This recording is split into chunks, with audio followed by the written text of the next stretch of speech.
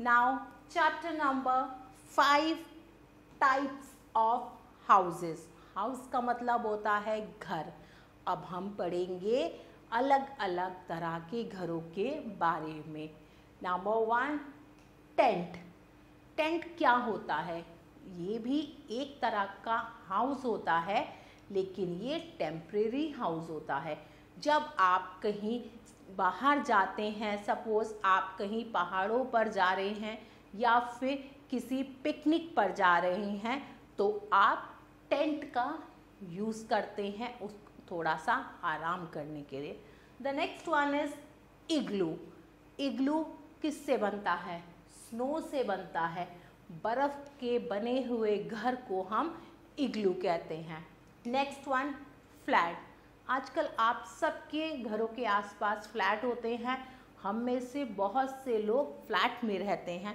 Flat कैसा होता है? एक बिल्डिंग होती है और उसमें बहुत सारे मकान होते हैं, जिन्हें हम फ्लैट कहते हैं। आप देखिए, पिक्चर में एक बिल्डिंग है, इसमें थ्री फ्लैट्स हैं, तीन घर हैं। तो क्या हैं ये तीन? फ्लैट्स हैं। नाउ हट हट मतलब झोपड़ी। हट क्या होती है? ये एक तरह का कच्चा हाउस है।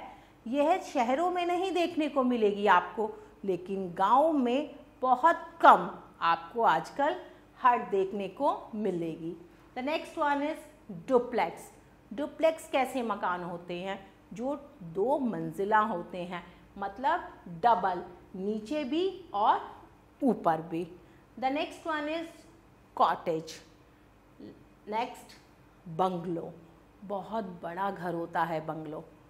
मोस्टली बंगलो कहाँ होते हैं? बड़े बड़े सोसाइटीज़ में भी बंगलो होते हैं या फिर बड़े बड़े शहरों में।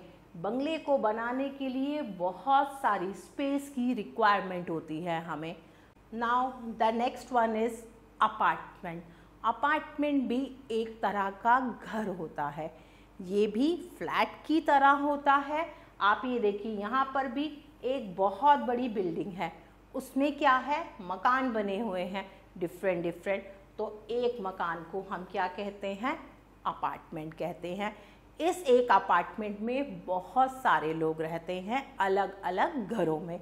Now the time to do some questions which type of house do you live in आप किस तरह के घर में रहते हैं? आपको ये लिखना है। आप फ्लैट में रहते हैं, डुप्लेक्स में रहते हैं, बंगलों में रहते हैं या फिर अपार्टमेंट में रहते हैं। तो आपको वो लिखना है। अगर मुझसे पूछा जाए then I will write flat मैं कहाँ रहती हूँ? फ्लैट में रहती हूँ। नेम योर फेवरेट हाउस अपने फेवरेट हाउस का नाम लिखिए। इतने सारे अभी हाउसेस के बारे में पढ़ा है।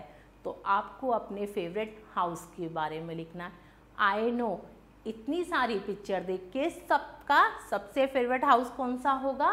बंगलो सब चाहते हैं कि उनका घर बहुत बड़ा हो।